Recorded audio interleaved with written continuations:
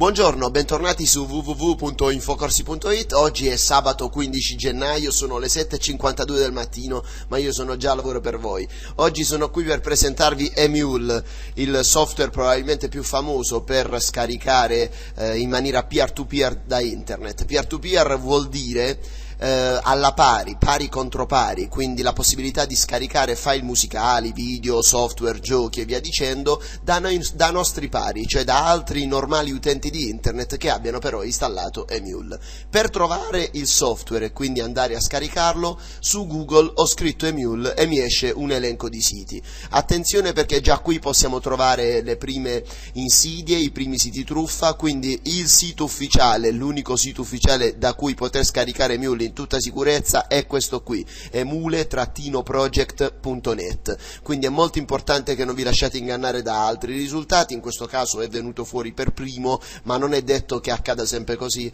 perché spesso Google cambia l'ordine dei risultati. Quindi ora io lo vado a cliccare si visualizza il sito del mulo elettronico, e mule vuol dire proprio questo, no? il mulo elettronico, eccolo qui, il nostro asinello, e quindi noi andiamo a cliccare direttamente download. A casa, che avrete certamente più tempo di quello che ho io a disposizione in questo filmato, vi consiglio di dare una spulciata e quindi di leggere con attenzione anche tutte queste altre pagine, perché il sito è fatto molto bene e vi consente facilmente di vedere tutta una serie di guide, di consigli su come usare Mule che vi permetteranno di approfondire quello che già io vi dirò in questo filmato. Ora vado a cliccare quindi su download, quindi attenzione che rimaniamo sempre su questo sito emuleproject.net e nella sezione download, sapete che download vuol dire scaricamento, ci sono una serie di link, eh, precisamente ce ne sono tre. Uh, l'ultimo non è da prendere in considerazione perché si tratta del codice sorgente del programma, come molti di voi sapranno Emule è un software open source, quindi libero e gratuito, ma anche liberamente modificabile. È per questo che gli autori mettono a, dipos- a disposizione la sorgente, in maniera tale che un eventuale programmatore esperto possa prendere la sorgente, modificare e personalizzare Emule, il tutto nella perfetta e completa legalità. Poi c'è la versione binaria che può essere essere interessante per qualche utente un pochino più esperto perché consente l'installazione di Emule in maniera portatile, quindi magari installandolo su una pennetta anziché sul computer e quindi consentendovi l'utilizzo di Emule anche spostandovi con la vostra pennetta da un computer ad un altro. Però diciamo che ci vuole un minimo di esperienza in più, non tantissima ma un minimo in più. Invece l'installer è sicuramente il file quello più scaricato, eh, si vede anche dalle statistiche di download che è quello scaricato maggiormente e quindi il più utilizzato da qualsiasi qualsiasi tipo di utente, esperto o no che sia. Quindi vado a cliccare questo scarica dove dice appunto installer.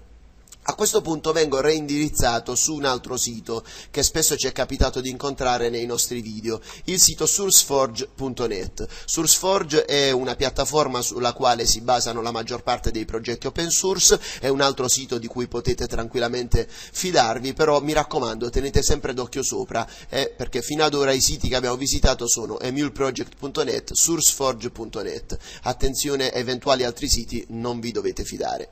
Eh, qui adesso l'Internet Explorer, eh, il programma che stiamo utilizzando per navigare e che non si fida mai di qualsiasi sito incontri, eh, ti dice che per facilitare la sicurezza ha bloccato il download del file. Quindi a questo punto probabilmente senza il mio aiuto ti saresti già bloccato e già non sapresti più scaricare il programma. Devi essere tu ora a dire a Internet Explorer che si può fidare di SourceForge e che quindi può scaricare tranquillamente il programma senza temere che possa essere un virus. Quindi prenditi la responsabilità di cliccare qui, come sto facendo facendo io, è di dire scarica file, altrimenti rimarrai bloccata a questa fase e non si scaricherà nulla. Ora quindi si ricarica la pagina di SourceForge, questa volta Internet Explorer si fida perché gliel'ho detto io e gliel'hai detto anche tu a casa tua e quindi ci chiede se vogliamo, sempre l'Internet Explorer ci sta ponendo questa domanda, ci chiede se vogliamo direttamente eseguire il file che stiamo per scaricare o se lo vogliamo prima salvare.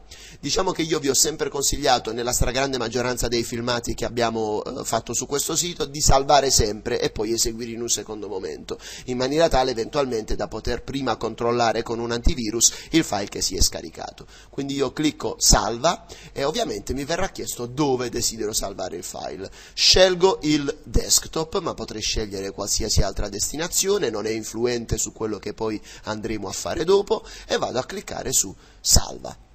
Ora parte lo scaricamento che può durare anche un bel po' di tempo, devo controllare che questo valore arrivi poi a quest'altro in maniera tale da essere sicuro di aver scaricato il file per intero. A volte è un po' raro ma può capitare che il download si interrompa e quindi in quel caso poi non funzionerebbe l'installazione. Quindi 3,23, perfetto, è andato tutto eh, come volevamo, posso tranquillamente chiudere questa finestra e momentaneamente chiudere anche l'Internet Explorer che avevamo aperto in due finestre e quindi lo chiudiamo. Sul mio desktop, adesso voi non lo vedete, ecco ve lo tracino dentro, è apparsa quest'altra icona, quindi sicuramente sarà apparsa anche sul vostro, mi raccomando cercatela, è l'icona dell'installazione di Emule, Emule 050A Installer. Ovviamente se vedete questo filmato qualche mese dopo, eh, rispetto alla giornata di oggi, potrebbe capitare che invece della 050 sia venuta fuori la versione 051 o 052, quindi una versione più aggiornata aggiornata.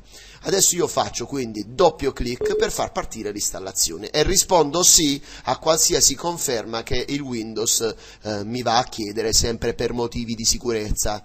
A questo punto è già partita l'installazione, mi viene chiesto in che lingua la voglio fare, è chiaro che scelgo l'italiano e poi clicco su OK.